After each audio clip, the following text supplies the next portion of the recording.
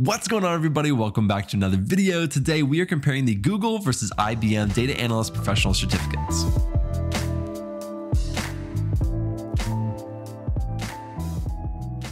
Now, Google just launched their Data Analytics Professional Certificate just last month.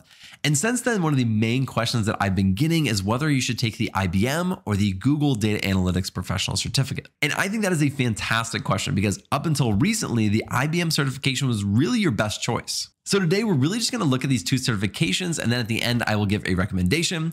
I will say I'm not going to be going super in depth into both of these certifications. I've done full reviews of both of these in separate videos. So I'll put a link in the description if you want to check those out. But really quickly, let's take a look at both of these certifications. So let's start off with IBM. It's around 140 hours of coursework, and it typically takes around three to four months to complete if you're doing around 10 to 15 hours per week. You're going to learn Excel for a lot of things, including data wrangling and data mining, as well as connecting that to Cognos to create dashboards. You'll also be learning SQL and IBM Cloud, and you'll learn a lot of the basics to intermediate concepts. From there, you'll move on to Python, and that is going to be all taught in Jupyter Notebooks. The IBM certification has a huge focus on Python. In fact, it takes up about half of all the hours for the coursework on just teaching Python itself. Now let's look at the Google certification. It's over 180 hours of coursework and should take anywhere from three to five months to complete if you're doing around 10 to 20 hours per week to complete the course. You're going to learn how to use spreadsheets, and of course, they're going to do that in Google Sheets, and you'll learn everything from data wrangling to data mining to data cleaning. You're also going to learn SQL and you'll be doing that in BigQuery, which is, of course, within the Google Cloud Platform. After that, you'll be learning how to visualize your data in Tableau, and you'll also be learning R, and you'll do that in RStudio. The Google certification goes a little bit above just the technical skills. It also is going to help with things like resume prep, interview prep, and creating a portfolio. Now that we've gotten a brief overview of both these certifications, let's talk about some of the differences between them. And let's start out with the glaringly obvious one, and that is the programming language that they use.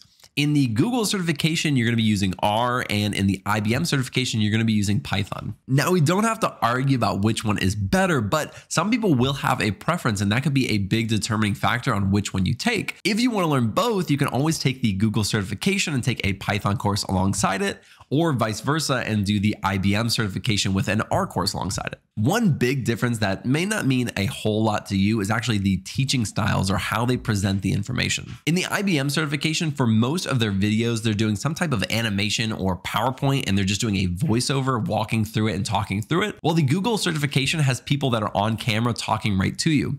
And I definitely think this comes down to personal preference. I much prefer somebody looking at me and talking to me and walking me through these things, much like I'm doing with you right now. I never was a huge fan of how IBM did their videos. I mean, they get the point across, the information is fantastic. It just could be a bit boring at times.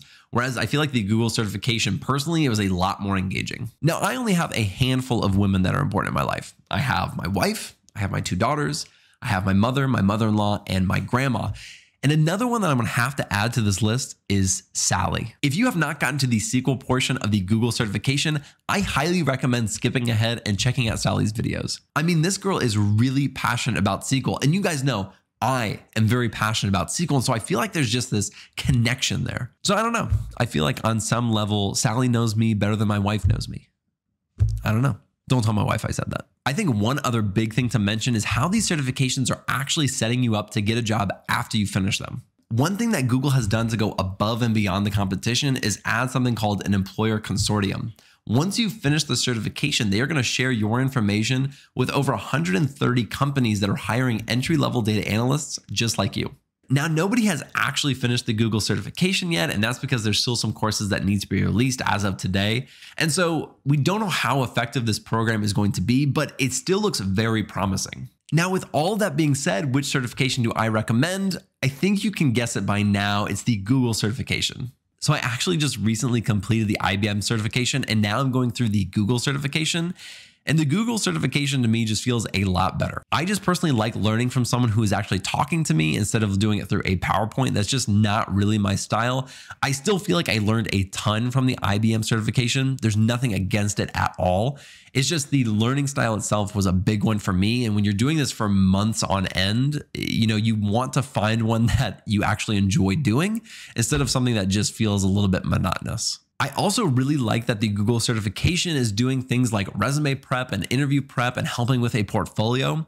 These are topics and things that people who are just starting out really don't know about and they maybe have never done that before. And so having these topics or these optional things that you can do within the course is a huge benefit. Not to mention, when you complete the Google certification, they're going to help you try to find an entry level job. So that is huge. Genuinely, I have nothing against the IBM certification. And if you only want to learn Python and you have no interest in learning R at all, then I actually do recommend the IBM certification. But if I were in your shoes today and I was trying to become a data analyst, I would be taking the Google certification. And then alongside that, I'd be taking a Python course. If you want to check out either of these certifications, I will have links in the description. Thank you guys so much for joining me. I really appreciate it. If you want to support the channel, be sure to like and subscribe below, and I'll see you in the next video.